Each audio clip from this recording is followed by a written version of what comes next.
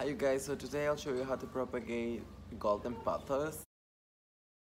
Uh, it's really easy to do. You only need scissors, nice scissors, your branch of pothos, I'll show you, and a jar of water. So it has like two methods or it depends what really what you really want to do. For example, if you want like a bushier plant like in this photo or if you want a long string. So if you want a string one, the only thing you want to do is like take the whole branch and put it uh, in water or literally in soil. You just cut the long string and you just let it grow. After it grows some roots, like about in a week or two, you can repot it in soil. The other method, what I want to show you today is um, to make a plant bushier or to add um, more volume to your plant.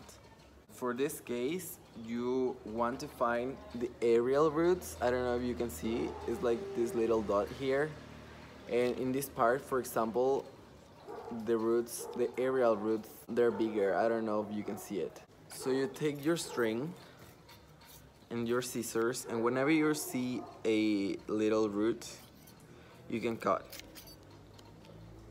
And then you put this in water. You just put it this in water and about in around like one or two weeks you'll have like more roots and you can actually repot it into soil. I'll show you how this turned out.